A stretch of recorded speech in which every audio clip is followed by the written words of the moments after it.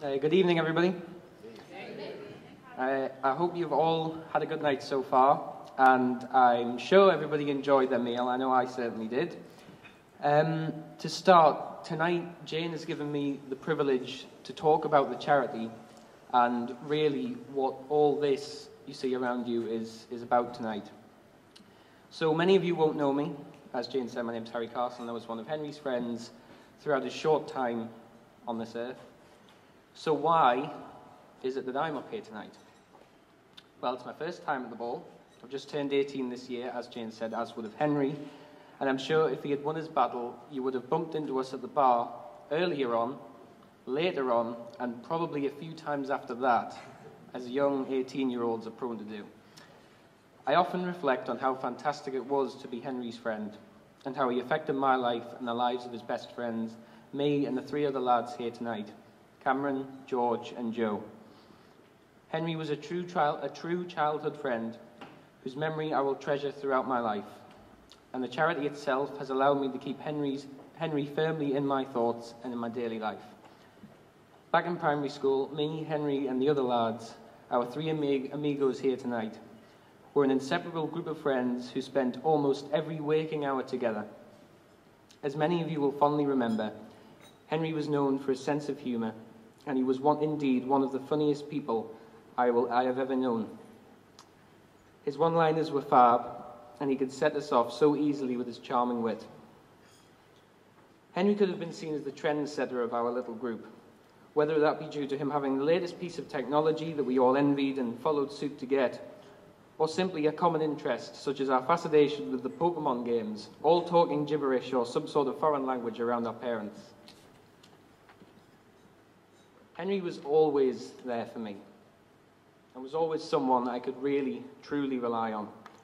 Whether the problem was big or small, he was always caring and considerate. I remember once I was invited to a sleepover at Henry's. At this time, I was often quite homesick when I stayed out. So after I struggled worryingly through the meal that we sat down to have together, and the time had come to leave, I quickly hid in the toilet to be sick and shed some tears for simply being away from my bed for that night. Nevertheless, Henry, being such a caring soul, consoled me and made me feel better by giving me the courage to stay out that night. He did this again and again until I conquered this stupid fear. But it wasn't stupid to me at the time, and Henry really understood that. Understood that. He always cared about me, so it wasn't stupid to him either. When I was 11 years old, Henry's diagnosis was like shell shock. No true comprehension was possible at that age. No idea about where it could lead, just big news that was very, very difficult to grasp. I remember my first trip to visit Henry in the hospital with Joe, and my first insight to his ordeal was the tablets the doctor had given him for the pain, nearly, probably about an inch long. Back then, I struggled to take one paracetamol, and if I was to admit now, I probably still do. Back then, I was still drinking all the Calpol if I was ever ill. Never mind these huge tablets that Henry was having. At that age, I thought Henry's illness would all blow over soon, and he'd be fit and healthy and back in school in no time. Over the following year, Henry did not recover, and the illness progressed so fast and took hold of him so quickly. We still got to see him around the infections, operations, and when he briefly came home and spent the night in his own bed. However, we were always missing part of our group, part of ourselves, and it hurt not to include him in what we were doing. Henry gave me a teddy bear, and I called him Henry the Brave. I took him everywhere just so I could say that Henry had been there with me. It's silly looking back now, but we coped in odd ways that helped us when the real courage was how Henry was fighting this thing that was determined to take him away from everyone that he loved. The hardest thing was finding out that Henry was terminally ill. We found this out two months before Henry's death. Our parents, the parents of the friends that I've mentioned tonight, had found out a few months before, and they had so carefully and considerately, with Jane, kept the devastating truth from us in order for us to remain ourselves around Henry for his and our own benefits for as long as possible. Finding out that our best friend was going to die was very, very brutal. I felt a choking feeling of mixed emotions from anger and frustration to overwhelming sadness and a stubborn disbelief. If it wasn't for the sadness, we probably would have pretended it wasn't real.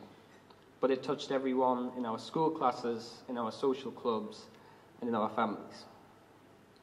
Trying to understand it all and find some perspective of what was happening or what life would be like without Henry, one of my best friends, was so very difficult. He was such a massive part of my life back then, and it really didn't make sense.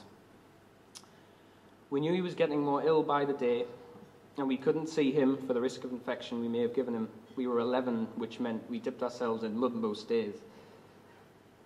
And then came the inevitable day. I found out and it shattered me. It seems unreasonable for life not to stop and for the world to keep going on around you when inside I was screaming with loss and anguish, and I was afraid of facing tomorrow without my friend. I couldn't see him before it happened, but I knew he was there, and now he wasn't.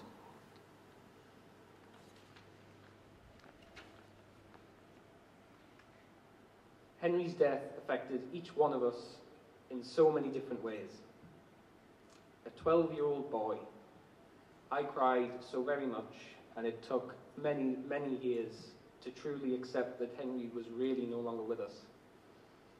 Not just around the corner, or at home with his cats, or even playing football somewhere. However, I often wonder what Henry would be like now, as I'm sure many of you do here tonight. What would our group be like with his presence and his incredible sense of humour?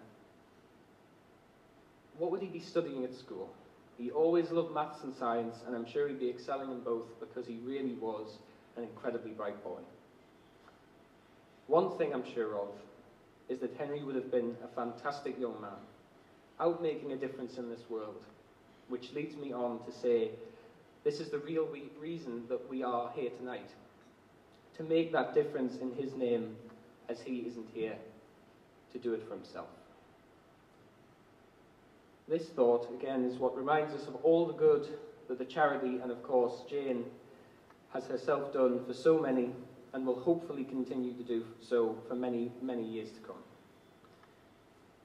Overall, the charity has raised over £230,000 worth of funds and has helped over 220 families, 120 simply this year alone one of the great triumphs of the charity that I am really proud to talk about has been the setting up of a storytelling project in the Great North Children's Hospital, the RVI in Newcastle. The project consists of Shelley, the charity's storyteller, going to the hospital and reading the children a story, either with their parents going out space for a quick coffee or a bit of time to themselves, a few tears in the toilet, whatever. The project has been a huge success and became a massive hit on the ward, so much so that within two months of its creation, the wards asked if it could become more frequent, which it has, moving from once to twice a week. A simple story has a great impact upon the children, and if the, if the child likes the book, then the project will give them their very own copy. The vital work that Henry Dancer Days does to support families throughout the region is greatly appreciated by those it affects. In fact, one mother wrote a letter to Jane thanking her for the donation that the charity provided. It read, Dear Jane, I would just like to thank you and your charity for supporting my son and our family through, through this tough time. My son Kian, who's 12, has just recently been diagnosed with Ewing sarcoma and has just finished round three of his intensive chemotherapy. Your very kind donation has bought him a new laptop and a 3DS so he can pass the time away in hospital as his mobility is so limited at the moment. Many thanks from a very appreciative family. You're doing an amazing job, and I'm very sure your son is very proud of you. Kind regards, Kelly Williams. You see, it's not just the laptops and the 3DSs that are supplied. It's not just the time for a story which allows the parents to get themselves together or a breath, quick sigh of relief or a cry out of sight. Sometimes it's the paid gas bill or the petrol money to and from the hospital something that takes away the stresses of normal life that scratch away at the resolve of suffering families. This cannot be done without the help of the sponsors and donations from lots of people, and I'd like to talk about this a little. Henry Dancer Days has set up a corporate partnership scheme and is delighted to have representatives of two partners here from this evening. Blue Kangaroo Design and Mac Security and Fire, which are both sitting at tables six and seven. So could we please just give them a very big round of applause.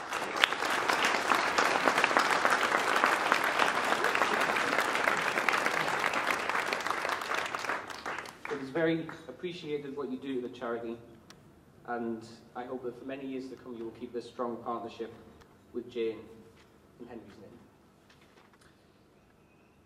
Jane has asked me to announce a new partner tonight, Harlan's Accountants.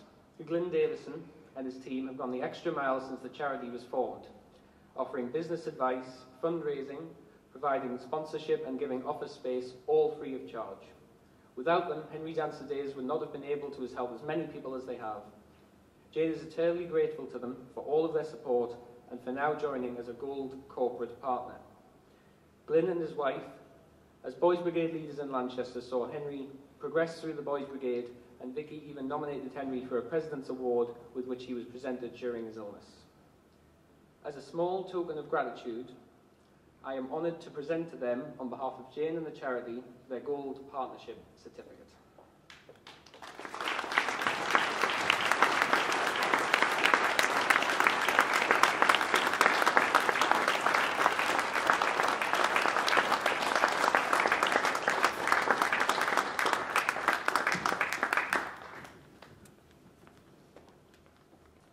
There are so many of you here tonight, possibly all, who have helped this charity in some other way than attending this lovely place for this wonderful soiree.